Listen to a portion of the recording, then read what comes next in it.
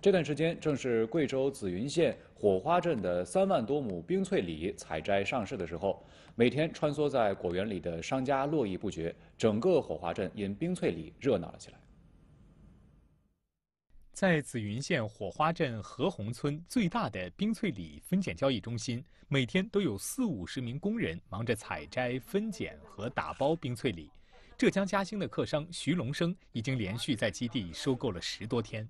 这边的李子口感很好，我已经做了有好很多年了。这边高速交通又方便，所以我们到现在有三十多万斤了。徐龙生所说的高速是指惠兴和紫望两条高速公路。高速修通后，解决了紫云当地冰翠李的运输问题。种植户周昌泰说：“从上市至今，他已采卖五批冰翠李，目前已卖出二十多万斤。现在价钱是四块，前几批个是卖五块，每天店里面都有二三十个工人在摘。